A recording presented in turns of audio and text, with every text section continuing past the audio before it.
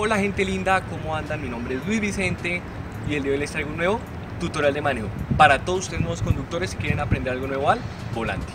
El día de hoy vamos a aprender a parquearnos a 90 grados otra vez, pero ahora con un carro pequeño, un carro hatchback que no tiene cola, que no tiene baúl, es pequeño, entonces pues vamos a ver eh, cómo se hace, es muy parecido, van a darse cuenta, tiene un pequeño, una pequeña diferencia, solo es un punto de diferencia.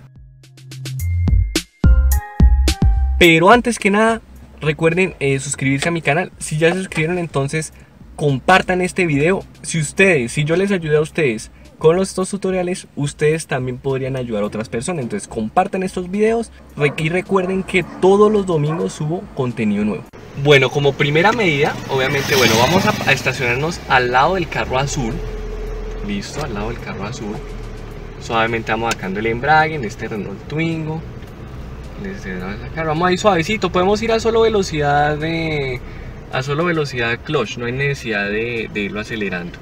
Nos vamos a estacionar en este parqueadero de acá, listo, en este, en este nos vamos a estacionar, listo. Entonces recuerden, como en el primer video les mostré, primer paso, marcar territorio, ¿cierto? Que no nos van a robar el parqueadero y poner nuestras luces de parqueo dejando más o menos un metro con respecto a la trompa del carro de al, lado de nosotros, ¿listo?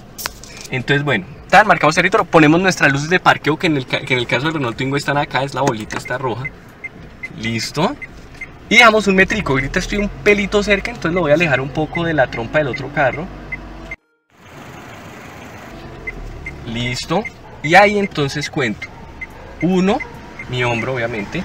Uno, pero entonces lo que les dije la vez pasada ¿Se acuerdan que en el, en el, en el pasado les dije que, la idea era que quedara más o menos en la mitad nuestro hombro? La idea en este caso sería que nuestro hombro quedara más o menos un poquito antes de la mitad. Miren, ahí. Antecitos de la mitad. No en la mitad, en la mitad sería más o menos acá que quedara nuestro hombro. Pero no, esta vez la idea va a ser que nuestro hombro quede más o menos por acá. ¿Listo? Ahí, ya con eso, ahí sí va a entrar bien el carro. ¿Por qué? Por lo que es más cortico.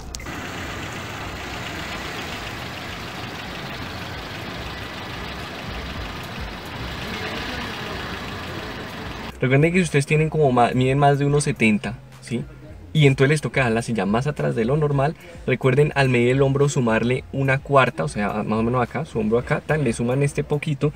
Y pues que sumándole esa cuarta, ahí sí su hombro casi eh, un poquito antes de la mitad del parqueadero. Listo, esa es la diferencia entre un parqueo y el otro. Enganchamos la reversa, subimos este anillito para que el carro entre en la reversa, por lo que está al lado de la primera, esta es una reversa especial, diferente y miramos, no miramos nuestro espacio con respecto al carro allá, le torcemos toda la dirección, torcemos toda la dirección, el carro sería hacia la izquierda, ¿no? O sea, si queremos el carro hacia allá, pues movemos el carro toda la dirección hacia allá en reversa, hacia allá, uno, toda, hasta que no les dé más, ahí, vigilamos gente que no le va a pegar al carro del lado, ¿no? Miren ahí cómo va pasando, mírenlo cómo va pasando, el paso excelente, pasó muy bien, Ahora vamos mirando así por nuestro espejo. Mirando por nuestro espejo. Y cuando quede recto, paramos. Ah, o sea, ahí. Ahí quedó recto. un poquito. Ahí ya. Clutch y freno. Cuando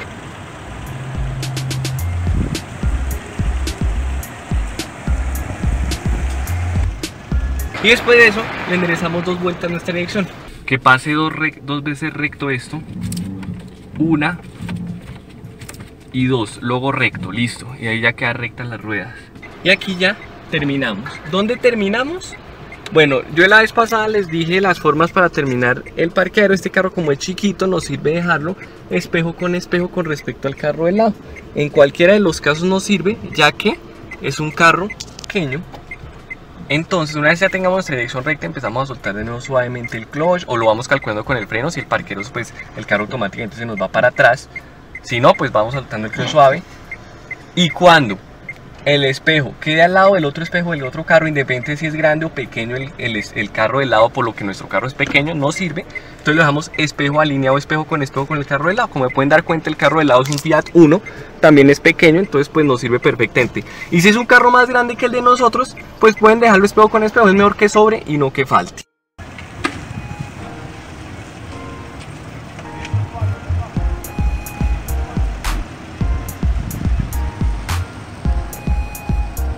Bueno, entonces queda claro, los pasos son iguales al que yo expliqué en el video que les voy a dejar aquí arriba. Ese fue el video donde yo expliqué paso a paso el parqueo de 90 grados, que es igual al parqueo, a este parqueo que acabo de explicar en un carro más pequeño, ¿cierto? Pero en la, la vez pasada lo hice en uno, en uno con cola, uno sedán. Entonces, es, es- son los mismos pasos, solamente hay una diferencia, solo hay una diferencia, una nomás, es el punto del hombro. En el hombro hay que dejar un poquito menos con respecto al carro sedán. En el carro sedán era que nuestro hombro queda en la mitad en el parqueadero. En este carro es, en el carro pequeño sería un poquito antes, más o menos un 30% del parqueadero. Entonces en el primer tercio de parqueadero, ustedes dividen el, el parqueadero en tres partes, el segundo parqueadero, sumándole dos parqueaderos más, pues, en tres partes.